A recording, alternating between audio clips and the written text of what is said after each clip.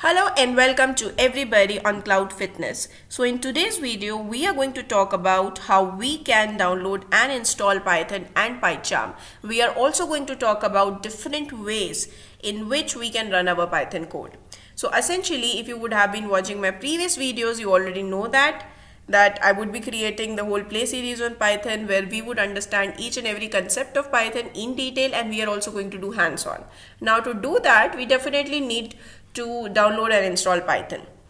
Right? But when you download and install python on your system you can directly interact with the python interpreter you can directly write the code you can directly do that through the command prompt or uh, you know powershell as well. You can do it. But that is not a very user friendly ui to write code on and that is why we have something called as pycharm. Pycharm is just an ide software. Now when i say ide it means integrated development environment so it is just a software where you can write the code, you can edit the code and you can organize your code. So this is just a software to, you know, just write the code. You know, it has its own intelligence as well. You can edit your code, you can organize it well. So no worries, we will be actually seeing what are the different ways in which we can run the Python code and then we are going to proceed with download uh, with downloading and installing both Python as well as PyCharm. So when we talk about uh, you know different ways to run Python code.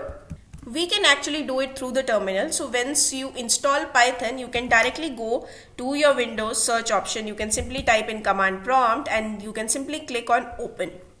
Now moment you do that you are uh, into the command prompt and right now Python is not installed on my system. So if I type Python right now over here it is actually going to uh, you know take me to the Microsoft uh, store and it, it is going to ask me to you know download Python right now. So essentially if you have Python already installed then in that case it will show you the version of the python and then we can start typing in our commands over here python commands over here and we can you know get the output for each and every line of code we write over here. So this is one way of running the code. Now similarly, let me just close this. Now similarly, you have something called as Windows PowerShell, right? Now when I go to this Windows PowerShell, it is typically, uh, you know, the same thing. Now when I again type Python over here, we don't have it installed. Now the moment I click it, again it is going to take me to the Microsoft store and ask me to download it. Now in the similar way, once I download it, I can run here PowerShell commands. I can uh, you know uh, I can actually type in my Python code over here and interact with Python directly if I have it installed. So this is nothing but this is the first option which is called a terminal option right? And the second option is terminal plus text editor. Now what does it mean so when I say command prompt, right, or the Windows PowerShell, both the things. Now, if I say uh, uh, just uh, right now, this print statement statement is not going to work because nothing is installed. Python is not installed. So if I run it, it is going to give error. But if you see over here, what I have done is I have written one statement, one code statement. Now, the moment I press enter, right, I have to press enter for each and every line I write. I cannot write multiple lines over here, right? If I have to write a multi-line code, I cannot do it so in this case, what do we do? We can actually, uh, you know, uh, you can use any tool to do that, Visual Studio Code or anything. Just write in your multi-line commands over here. So you can simply say, you know, whatever, whatever, ABC. If you have multiple lines of code, you can uh, simply write it over here like this and then you can actually save this file. Now once you save this file, you can actually save it as .py file. Let's say I say test. dot py right? And I save it. Now moment I save it as a py file now the, the, this is just a code that I want to run. Now I can actually call this file. I can actually call this file in my command interface. Now what will happen is the moment I run this file all my commands will run one after the other. So that is nothing but terminal plus text editor option. Right now, see both these options are not very comfortable right if you have to write you know the long code and you have to you know call one function uh, you know you have two three files and you're calling one file from the other file now in that case you will not be very comfortable with this UI so that is why we have something called as software IDEs like PyCharm right? Similarly you have visual studio code as well. Now visual studio code most of you would be familiar with it. You can not just write python but you know any language. You can do it uh, you know uh, you can write c sharp in visual studio code or you know it is used for multiple uh, purposes. Now i am specifically taking out pycharm here because i'm more comfortable in pycharm right? Now the fourth option is research and development ides now these are specific to writing Python. So if you have heard about Spyder notebooks, Jupyter notebooks, now these are the interfaces where you have cell by cell and you just write your code in those cells, right? Your Python code in that cells. So that is also development IDE. Similarly, if you're coming from the data Databricks background or uh, from the data engineering background and you know about data Databricks, I have already, you know, created the whole series on uh, Databricks, you can actually run all the Python code in the Databricks as well. So it also becomes a research and development IDE, right? So these are the different ways in which you can run Python code. So without any further ado, what I'll do is I'll directly jump on to this particular portion where we are going to download and install Python plus PyCharm. So remember that I will paste this link in the description box so that you all can go ahead download Python and PyCharm. So let me just follow this particular link on python.org. So the moment I click here, I land into this python.org uh, page. You can actually see, see this. I'm going to download the second latest version, right, which is released on December 6, 2022, right? So uh, basically this is not the release date but anyways so I'll uh, actually go ahead and click on the download option over here so the moment I do that you can actually see that I'm going to do uh, you know I'm going to download Windows installer 64 bit and let me just click on this. Now you will see that it the file has got downloaded. Let me just click on open file.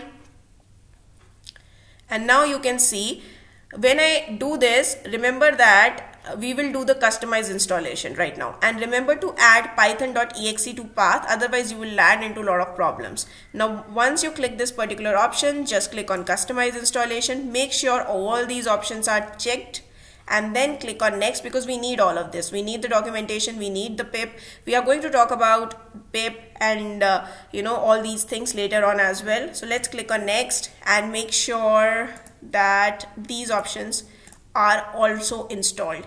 Now basically you can choose a custom location. So let me also uh, you know choose a custom location.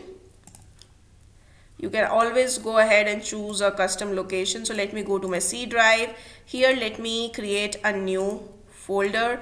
And let me name that folder as python 3 1 z uh, let, me say 310 i think uh, let's keep it this and there's a folder already that i have. Let me just delete it. So i have this folder python 310 in my c drive. So let me simply browse it and let me go to my c drive and select python 310 click on ok. So the moment i do that i'll simply click on install and yes option and let it get installed now, while the time this Python is getting installed, what we will do is we will go ahead with PyCharm as well.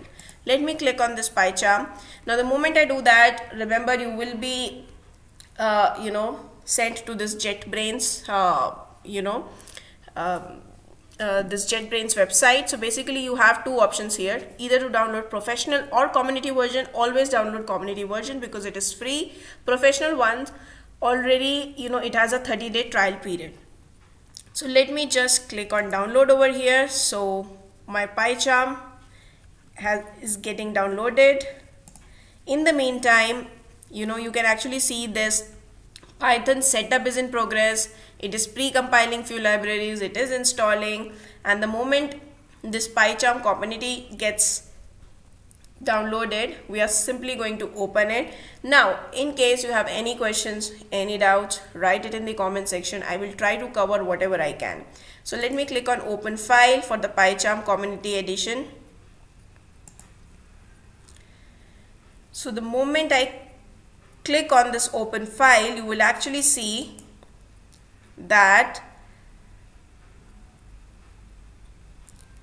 this particular window appears click on yes and then click on next. Now here to install PyCharm you don't have to do anything just simply click on next. And okay.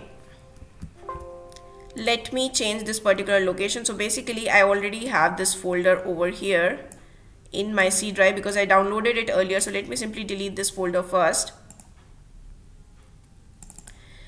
so basically uh, since I already downloaded it before right that is the reason I have this folder already. So I'm just deleting this folder so that this place is empty and it can get downloaded you know. Now it is empty now. You can actually see now I'll click on next so it worked out. And then simply click on next and you don't have to do anything just click on install. So this is an option where you know you don't have to do anything. Just click on next next next and you are done. So let me just close these windows which I opened by mistake and then let me go back to the Python. Now you can see that the Python setup is successful right? Python is successfully installed. If you want you can go ahead read the documentation but right now we are not going to do that. So let's close this. Let's go to the command prompt. So the moment I click on this command prompt I type python now.